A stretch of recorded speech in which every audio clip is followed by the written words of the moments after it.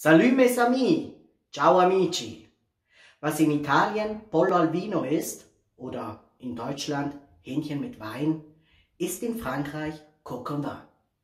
Coq au vin wird mit Rotwein zubereitet und ich möchte euch heute eine ganz einfache Art und Weise zeigen, wie ihr dieses leckere Gericht auf den Tisch bekommt.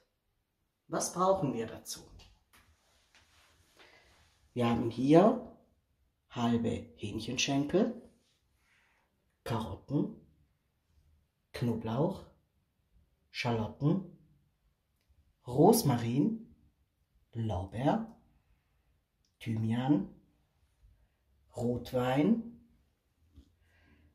Gemüsebrühe, ihr könnt aber auch Geflügel vornehmen, Salz und Pfeffer.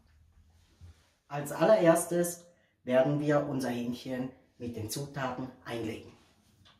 Dazu habe ich eine Schüssel vorbereitet. Ich hier schön mein Hähnchen hinein, die Karotten, so. die Schalotten. Ich nehme hier sehr gerne Schalotten, statt weiße Gemüsezwiebeln, weil die einfach auch aus der französischen Küche nicht wegzudenken sind und sie haben ein bisschen einen feineren Geschmack. So. Die Kräuter natürlich, die kommen mit rein.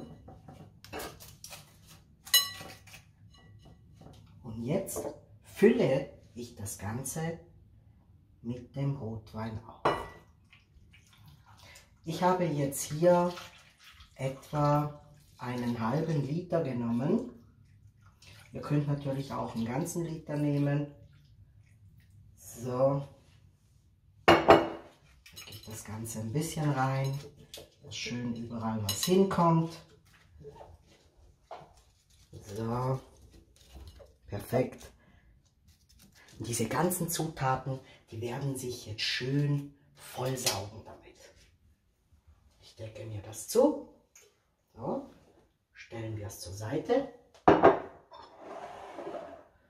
Und ich lasse es jetzt etwa drei bis fünf Stunden vor sich hinziehen. A tout à l'heure. Wir sehen uns später. Wollen wir doch mal sehen, wie unser Hähnchen aussieht. Ah. Oh, das riecht wunderbar. Perfekt. Ich schalte hier jetzt schon einmal meinen Topf an. Wir braten danach nämlich unser Hähnchen an. Ich tupfe, ich nehme das jetzt schön raus. Man sieht jetzt auch, die Farbe hat sich natürlich verändert durch den Wein. So, nehme ich mir das so raus. Perfekt. Und tupfe mir das ab, damit ich natürlich dann nachher auch schön die Röstaromen habe und mir dieses Hähnchen nicht ähm, gekocht wird, sozusagen. Gut, das hatte ich ja vorhin in den Zutaten vergessen, aber natürlich brauchen wir auch ein bisschen Öl. Ich habe mich jetzt hier um ein äh, Rosmarinöl entschieden. Ihr könnt aber auch ein neutrales Öl nehmen oder auch ein Olivenöl. So, Karotten nehme ich natürlich auch noch raus. So, die können dann hier ein bisschen auch abtropfen.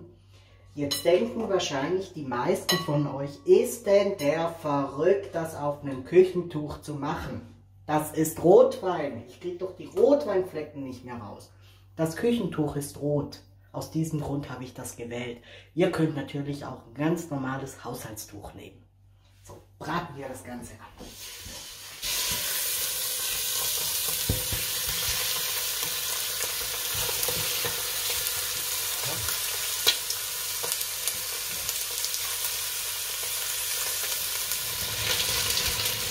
Wunderbar.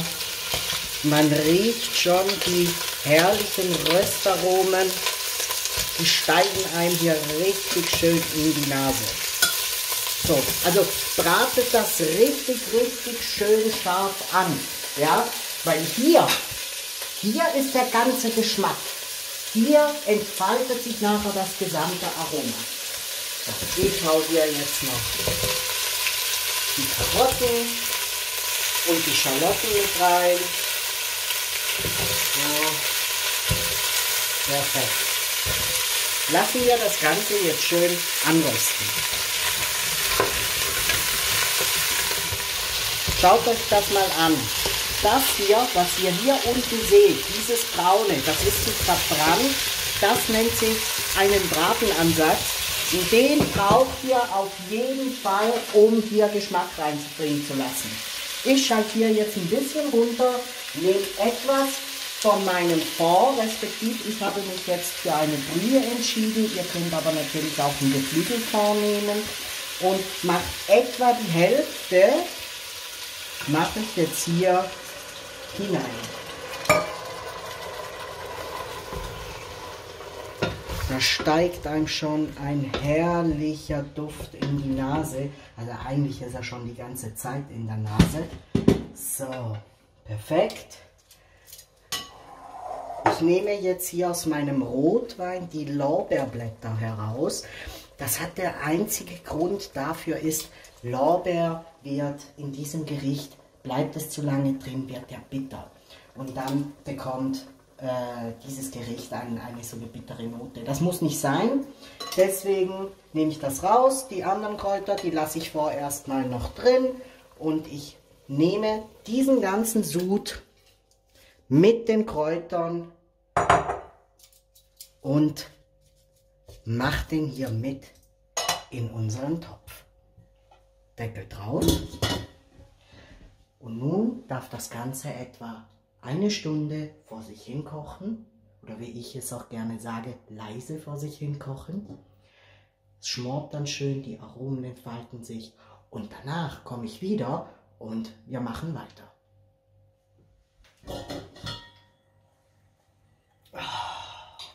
Ihr müsstet das riechen. Es riecht fantastisch.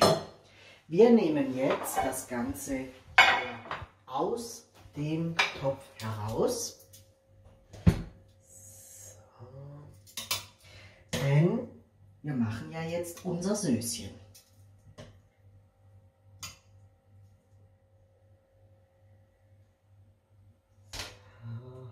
Und das letzte. Schaut euch das an. Ohne Soße sieht das aus. Und jetzt kommt das hier in den Ofen. Und ich reduziere jetzt mein Söschen hier nämlich ein. Dazu nehme ich mir wirklich nur die Flüssigkeit. So, perfekt. Und da ist jetzt mein ganzer Geschmack drin. Schaut euch hier mal diese wunderbare Farbe an. Das ist schon richtig vielversprechend. Ich habe jetzt hier den Herd eingeschaltet. Das Ganze wird sich jetzt noch einreduzieren. Und was ich jetzt mache, ich binde jetzt meine Soße. Dazu habe ich ein ganz normales ähm, Schüsselchen hier genommen, ein bisschen Mehl mit rein. Ich mache jetzt etwas von diesem Sud, von diesem Weiß, äh, von diesem Rotweingemisch, mache ich jetzt rein und werde mir das Ganze hier schön in diesem Schüsselchen zu einer Art Brei zusammenrühren. Und diesen Brei, den wir jetzt hier gemacht haben, den füge ich hier einfach dazu. Der wird sich auflösen und wird so meine Soße binden. Was ich euch natürlich auch noch empfehlen kann, ist, dass ihr Speisestärke nehmt. Das könnt ihr natürlich auch nehmen. Das ist ganz euch überlassen. Ich persönlich mache es wirklich noch nach diesem ganz alten Methode mit Mehl. Ähm, aber wie gesagt, das könnt ihr also wirklich halten, wie ihr wollt. Wir lassen das jetzt einreduzieren und sehen uns gleich wieder. Schaut euch dieses Süßchen an. Ist das nicht herrlich? Hat das nicht eine wahnsinnig herrliche Farbe? Und jetzt zeige ich euch einen ganz simplen Trick, wie ihr noch mehr Glanz, Geschmack und Bindung in die Soße reinbekommt. Ich habe hier ein Stück kalte Butter. Das ist wichtig, ich betone es extra, es ist kalte Butter, denn diese kalte Butter bewirkt, dass die Soße noch ein bisschen Bindung bekommt. Die kommt jetzt hier noch mit rein und die lasse ich direkt hier mit schmelzen. Unsere Butter schmelzt schön vor sich hin. Ich schmecke meine Soße jetzt ab. Ich habe jetzt hier ein bisschen Fleur de Sale, auf Französisch Fleur de Sel und schön reichlich Pfeffer mit in die Soße. So, wunderbar einrühren. Das Salz löst sich jetzt auf und ich schmecke meine Soße jetzt ab. Schaut mal, wie toll die ist. Oh, da muss man ja Lust drauf kriegen. Da muss man einfach Lust drauf kriegen.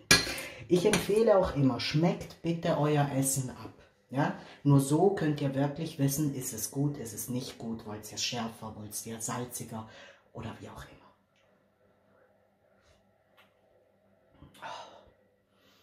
Es ist Poesie. Es ist französische Poesie. Nehmen wir unser Hähnchen raus. So. Handschuhe anziehen. Man will sich ja schließlich nicht die Pfötchen verbrennen. Das habe ich jetzt hier während der ganzen Zeit auf ca. 80 Grad im Ofen gehabt. So. Und jetzt nehme ich hier ganz einfach unser schönes Süßchen und nehme es hier mit drüber. So. Das riecht, Leute, das riecht, dieses Aroma. Und ihr seht ja auch, dass sich die Butter aufgelöst hat, das Mehl aufgelöst hat. Es ist also alles schön stimmig. So, nehmen jetzt hier noch ein bisschen Rosmarin mit rein. Das Auge ist ja mit. Halt, den lasse ich, den lasse ich besser an.